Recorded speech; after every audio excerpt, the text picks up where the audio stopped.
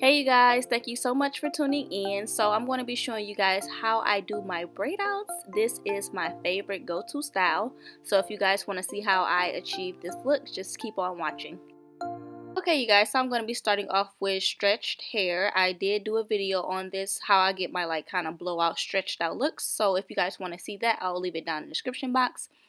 I'm going to take um, one section and then I'm going to spritz a little water on it and that's mostly just going to add moisture into my hair and help my braid pattern form a lot better.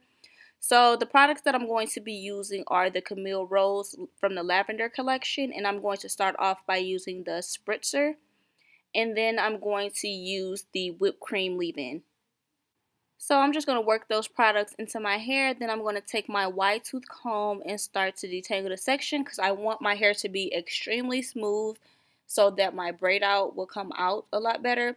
And then I'm just going to take some foamy lotion. Um, this kind is just like a random kind that I got from the beauty supply store. So you can get any type of foamy lotion that you like, uh, whatever you have available.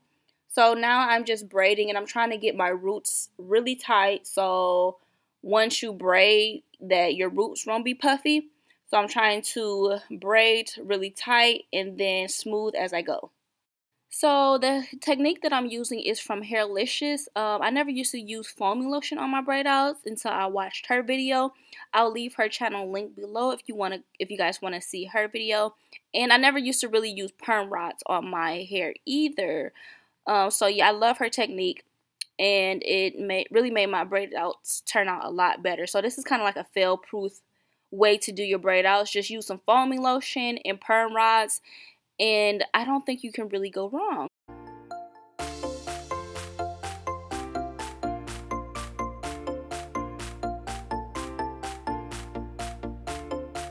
So the, what the foaming lotion does is it just helps your braid out form a lot better and last a lot longer.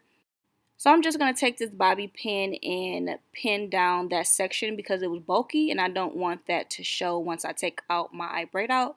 So I just bobby pinned it down to keep it flat.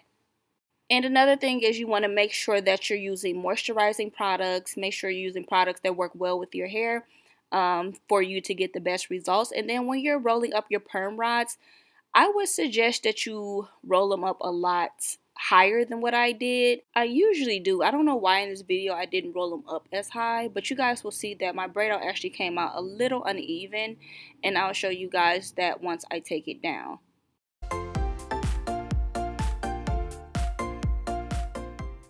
So this is the finished look. I have four braids in the front and then I have four braids in the back. So now I'm just going to take my satin scarf and lay that across my edges so they can lay flat. And then I'm going to pull out my braids so, they don't, so that they don't bunch up.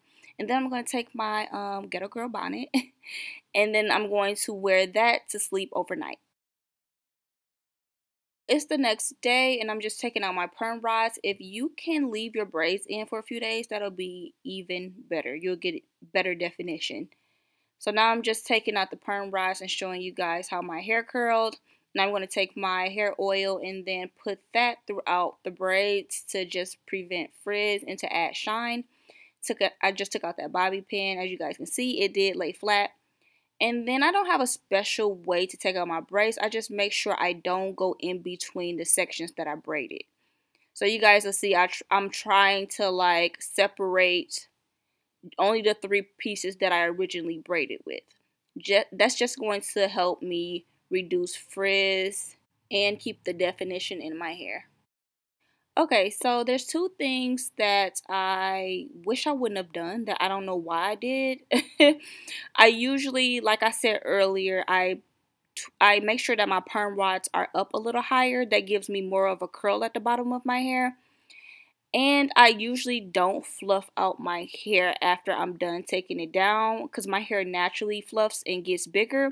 But in this video, for some odd reason, I decided to fluff out my hair just to show you guys it not be so limp um, and have it be bigger for the video. But it actually just created frizz for me. So if you're recreating this um, braid out at home, just make sure your perm rods are higher so you can get more of a curl and make sure that well some people like to fluff their hair some people don't but i'm one of those people who don't like to fluff my hair it just naturally fluffs on its own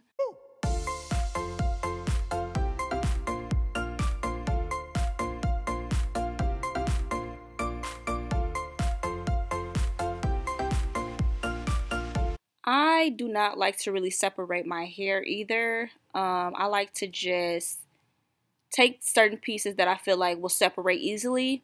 Like this piece right here, it didn't want to separate, so I just left it alone. Like I can tell it was going to frizz up. So I just left it. And then as you guys can see, I started fluffing, which I shouldn't have done. But but it still came out pretty nice. This is the finished look. Um, I hope you guys enjoyed this video. As always, if you have any questions or comments, leave it down in the comment section. And thank you guys so much for watching. I'll see you in my next video. Bye.